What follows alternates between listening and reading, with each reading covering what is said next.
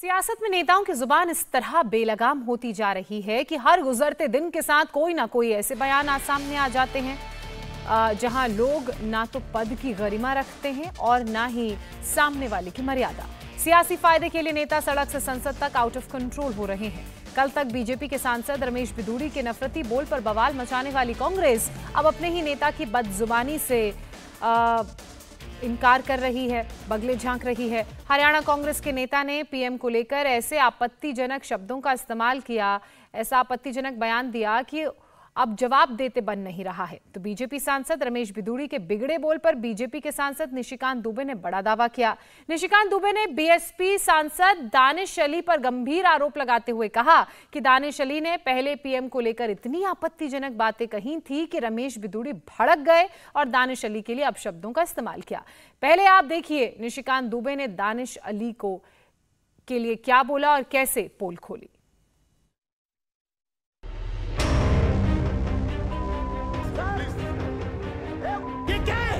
के संस्कार पूरी दुनिया ने देख लिए कि आप कैसे संस्कार देते हैं अपने लोगों को।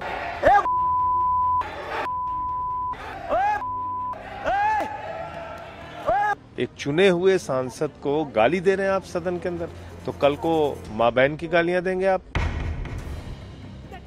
संसद में बीएसपी सांसद दानिश अली पर रमेश बिदूड़ी के नफरती बोल पर सियासत जारी है।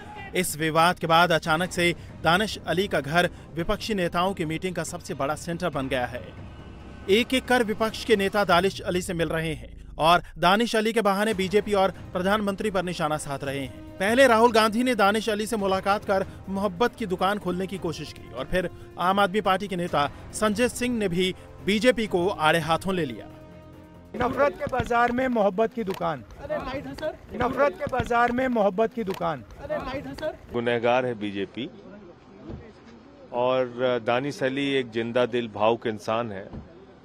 उनको रोने पे मजबूर किया। क्या यही प्रधानमंत्री जी का सबका साथ सबका विकास है? बातें आप बड़ी बड़ी करते हैं। आपने कहा कि नई बिल्डिंग में तय होगा कि गरिमा क्या होती है मर्यादा क्या होती है। कौन लोग इस तरफ़ बैठेंगे और कौन लोग उस तरफ़ बैठेंगे? तो अब तो मोदी जी ने खुद ही बता दिया कि कौन लोग 2024 में उस तरफ़ बैठेंगे। यह आचरण आप संसद के अंदर गाली देंगे एक सांसद को। एक चुने हुए सांसद को गाली दे रहे हैं आप सदन के अंदर। तो कल को माँ बहन की गालियाँ देंगे आप संसद में। संसद के अंदर हुई इस बदजुबानी को लेकर संसद के बाहर हो रही सियासत के बीच अब बीजेपी सांसद निशिकांत दुबे ने बड़ा खुलासा करने का दावा किया है। लोकसभा स्पीकर को चिट्ठी में निशिकांत दुबे ने लिखा है कि रमेश बिदुड़ी ने जो कुछ कहा, वो ठीक नहीं था। वो उसकी निंदा करते हैं। लेकिन ये जानना भी ज़रूरी है कि आखिर बिदुड़ी ने दानिश अली के लिए ये बातें क्यों कही? चिट्ठी में निशिकांत दुबे ने लिखा, सत्तारूढ़ सरकार और चंद्रमा पर चंद्रयान थ्री को उतारने की, प्रधानमंत्री की उपलब्धि को बदनाम करने की अपनी हताशा में दानिश अली बिना माइक्रोफोन के चिल्लाते रहे। लेकिन उन्हें यह कहते हुए स्पष्ट रूप से सुना जा सकता था कि नीच को नीच नहीं कहेंगे तो क्या कहेंगे?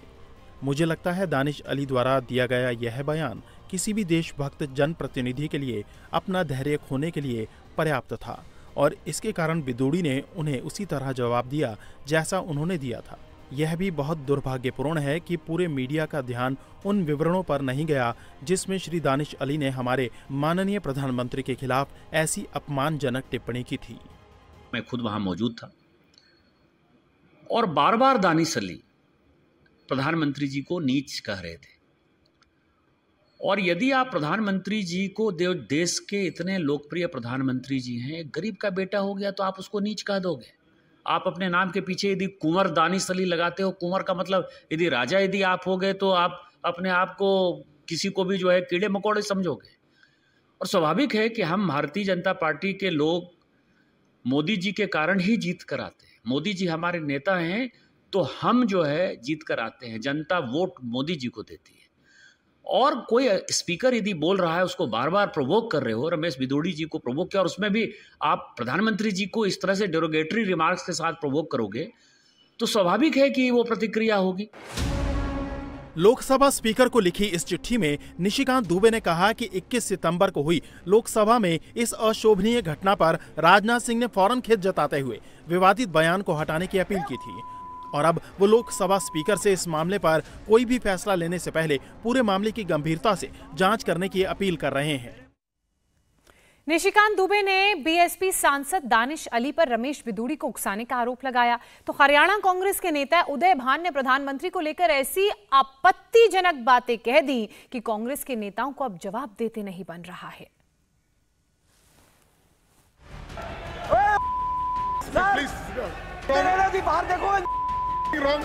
इक्कीस सितंबर को लोकसभा में बीजेपी नेता के नफरती बोल पर सियासत अभी थमी भी नहीं थी कि इस मामले में बीजेपी और प्रधानमंत्री को घेरने वाली कांग्रेस अपने ही एक नेता के बयान की वजह से मुश्किल में पड़ गई है।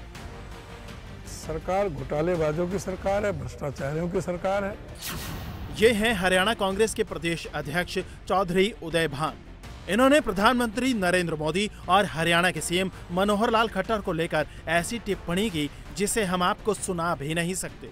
मुख्यमंत्री जो है, बिल्कुल आराम की नींद सो रहा है उसे कोई मतलब नहीं है कि वो कोई जनता से कोई उसका कोई सरोकार हो।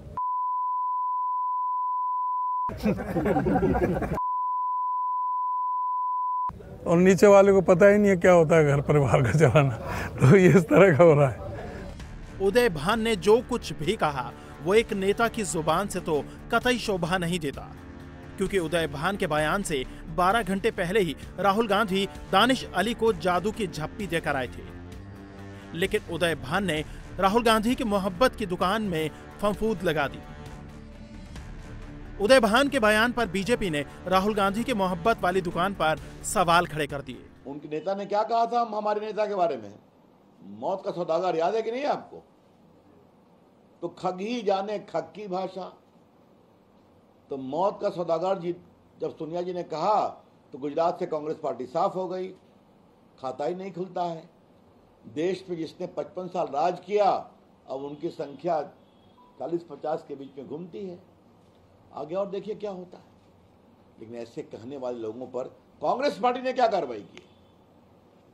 वो तो बाकायदे प्रायोजित हमला कराती है। वहीं खुद पर विवादित टिप्पणी से नाराज़ हरियाणा के सीएम मनोहर लाल ने कांग्रेस पर निशाना साधा। सोशल मीडिया पर सीएम ने पोस्ट कर लिखा, परिवारवाद में डूबी पार्टी और परिवारवाद की मानसिकता के गुलाम लोग नहीं समझ पाएँगे कि देश के 140 करोड़ लोगों को, प्रधानमंत्री और हरियाणा के पौने तीन करोड़ लोगों को मैं अपना परिवार मानता हूँ। कांग्रेस को मैं नहीं, हमारे परिवार के यही लोग जवाब देंगे।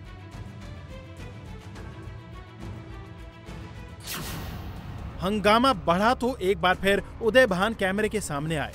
उम्मीद ये की जा रही थी कि उदय भान अपनी बदजुबानी पर माफ़ी मांगेंगे लेकिन उदय भान ने माफ़ी मांगने से साफ़ इनकार कर दिया। कोई अपशब्द कहे क्या उनके लिए? नहीं जो हकीकत है जो हकीकत थी वही तो बयान करी है। हाँ ना बिल्कुल क्यों? उसमें गलत गलत क्या है उसमें? झूठ क्या है? अगर मेरे से कोई गलत बयानी होती है तो मैं माफ़ी मांग लेता तो इसमें इसमें ये बताएँ कि इसमें क्या तो गाली है, क्या इसमें गलत बयानी है। जो सच्चाई थी वो मैंने कोई रख दी थी तो उसमें ये तिल का ताड़ बना दिया उसका। पीएम मोदी को अब शब्द कहने पर जहाँ बीजेपी आग बबुला है, वहीं इंडिया अलायंस में कांग्रेस की साथ शिवसेना उद्धव गुट ने भी उदय भान को माफ़ी मांगने की सलाह दी है। इंडिया टीवी हर वक्त, हर जगह। डाउनलोड करने के लिए सर्च करें India TV news, Google Play Store या एप स्टोर पर।